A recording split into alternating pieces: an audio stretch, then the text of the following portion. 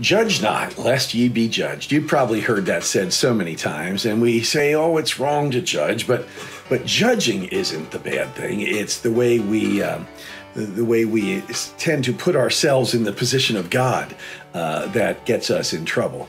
In the Apostles' Creed, it says that uh, of Jesus, he was crucified, dead, and buried. The third day he rose from the dead.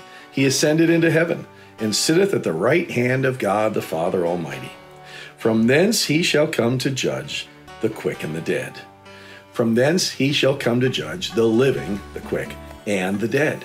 And so we see that uh, judgment uh, in the wrong hands, in your hands or mine, uh, that can be a problem. That is a problem, and that leads us to difficult things. It leads us to sin. It leads us into a bad place. But Jesus is able to judge. Jesus is the one who can judge. Jesus, who knew no sin. Jesus, who is the very uh, incarnation of God. Jesus, who has uh, come to live among us, to teach us, to heal us, to, uh, to impress us with his miracles, to reveal the character of God to us.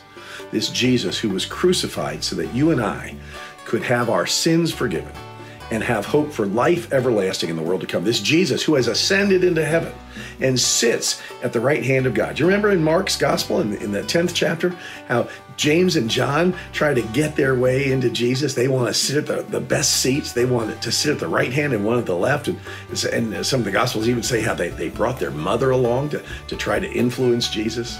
Um, well, this Jesus, they wanted to be close to the judgment seat, but let me just caution you that that's uh, that's a difficult place to be.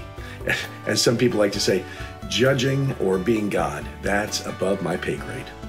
And so we hear that Jesus, uh, he shall, from thence, from that seat, uh, at the right hand of God the Father Almighty, from there he shall come to judge the quick and the dead.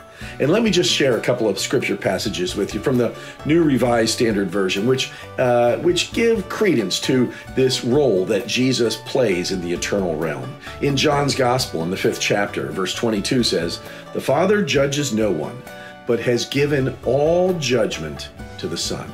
The Father's not anxious to judge, but has given that right to the Son. The Son, of course, being Jesus, our Savior and Lord. The Father in heaven has given the position, the authority, the, the task of judging to the Son. And it's that Son who, who I believe is going to one day put his arm around you and me when we stand before our Heavenly Father. And Jesus is going to say, This one I knew, this one loved me, this one I died for.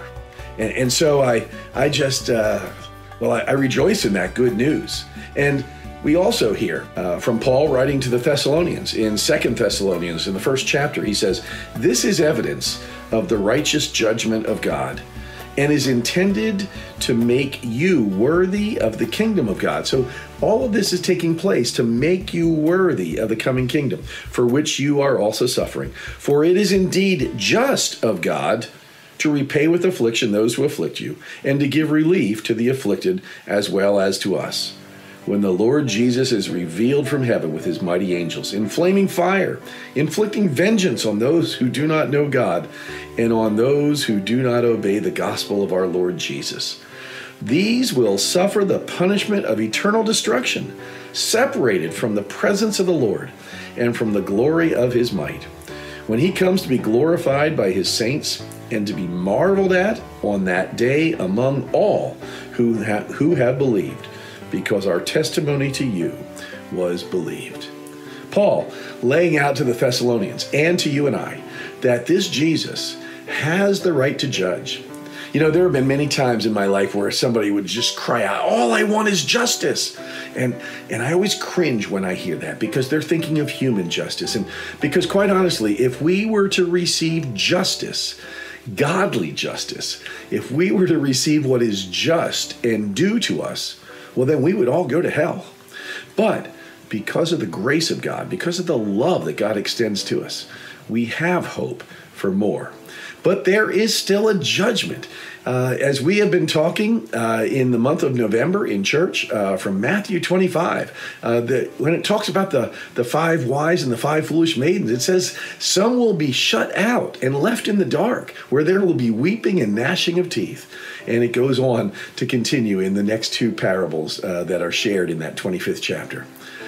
Friends, I just want you to know that I do believe there's going to be a judgment someday. I do believe that that God will uh, will inflict judgment upon all of us, and that for those who do not know and love Jesus, for those who do not have a relationship with God through Jesus Christ, for those of us who have not put our trust in a personal and saving relationship with Jesus, there is the very real possibility that we will, you, me, whoever, could be uh, judged to a Christless eternity, to hell. If it were not so, I would have no passion for sharing the gospel. If it were not so, we would have no urgency about telling others of the love of God, of the grace extended to us, of the power of what Jesus did on the cross there will be a judgment. We don't want to make too much of it because because it's not going to be for you and me if we know and love Jesus. But but don't ever overlook the judgment and don't ever overlook the eternal consequences. For this Jesus, as we say, this Jesus uh, who sits at the right hand of God, from there he shall come to judge the quick and the dead. From that seat next to God, he will come to judge the living and the dead. Friends, May God judge you worthy. May God uh, receive you with open arms. May Jesus, uh, may his blood wash you clean. And may God be with you till we meet again.